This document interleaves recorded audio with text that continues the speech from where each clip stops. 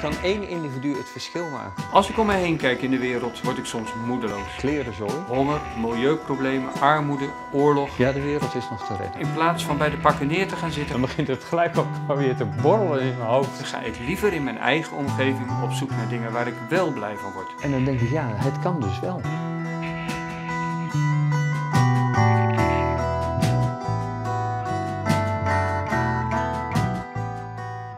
Waar gaan we heen?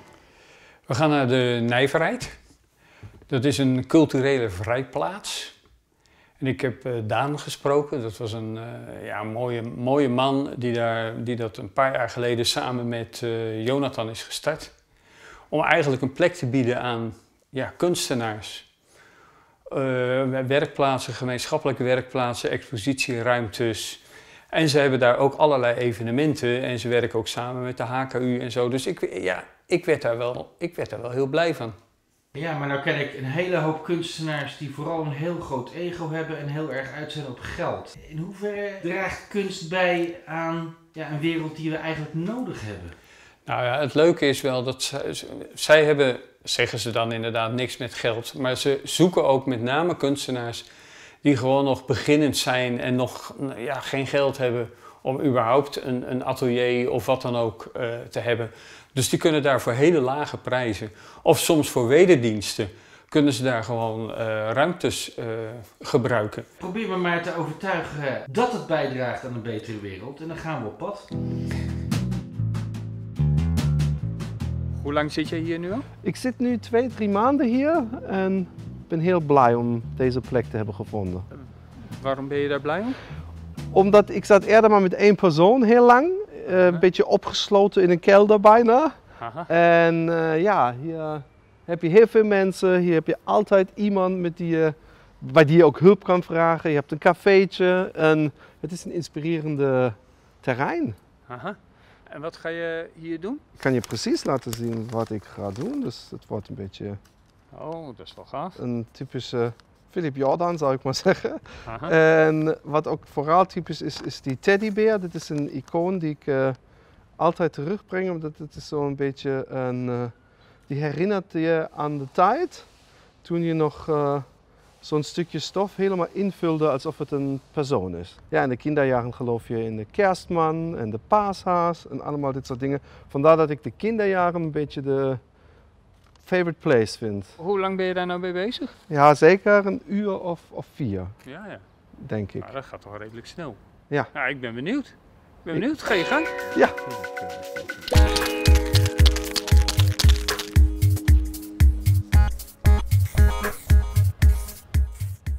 Hij is een van de laatste mensen geweest die hier een atelier plek heeft gekregen. Dus je ziet daar al die, die grote teddybeer met die mond open. Ik vind dat ook wel een heel vet ding. Dat vind ik fantastisch ook, wat hij nu aan het maken is. Dat hij dus van een lege muur binnen een dag iets kan maken. En ik vind zijn stijl heel leuk dat het eh, zowel knuffelbaar en schattig is, als heel rauw en ang- angstaanjagend Ja. ergens.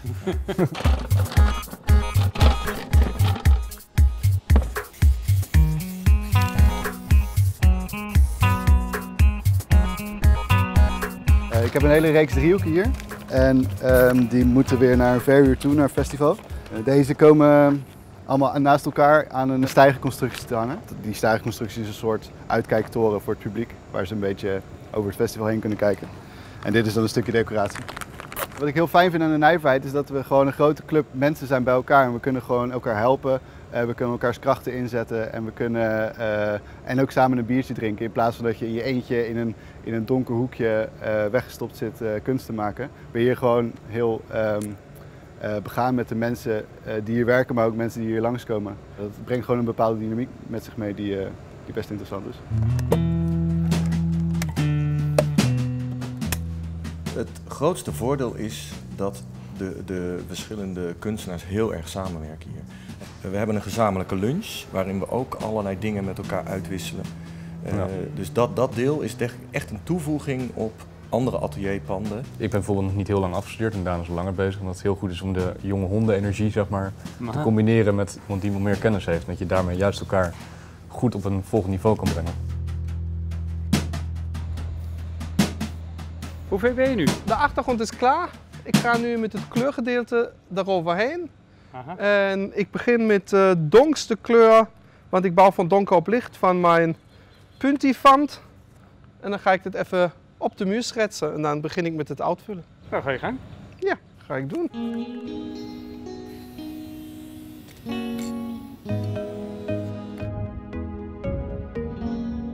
Wat draagt dit nou bij aan een, een beetje betere wereld? Ik denk dat we, eh, omdat we ook in die stad zitten en omdat we ook maatschappelijke dingen doen, we hebben hier ook bijvoorbeeld Buddy to Buddy gehad, en omdat we dus die interactie aangaan met, met externen, dat je heel veel dingen samenbrengt en dat je daarom die betere wereld eh, creëert. Nou ja, we proberen dus inderdaad echt een, een culturele vrijhaven voor iedereen te zijn. En dat, dat zie je terug doordat er bijvoorbeeld hier een bedrijfsborrel van de overkant komt. eh, die we in aanraking brengen met kunst. Eh, je ziet het terug dat we hebben hier een culturele zondag gehad, Go West, specifiek over de wijk West van Utrecht. En daar zijn eh, eh, eh, over de duizend mensen geweest. Je struikelde over de fietsen, maar ook educatieve projecten. Ja. Dus we hebben ook samenwerkingen met scholen. Een van die projecten met die scholen was bijvoorbeeld dat ze zelfs een heel plan gemaakt hebben om het water hiervoor, waar veel troep in ligt, want dat waait allemaal vanaf het Amsterdam-Rijnkanaal met de zuidwestenwind naar binnen, hoe we dat water schoon kunnen maken. Ook dat soort dingen willen we meenemen in dat plan.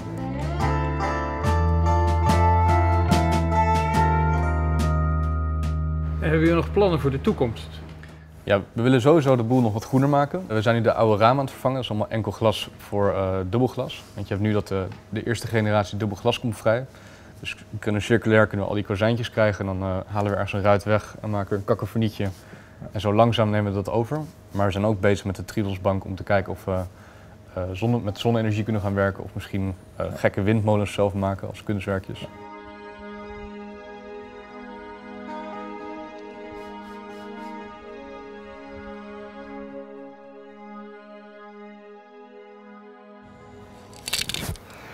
Hey, Philip, gaaf zeg hé.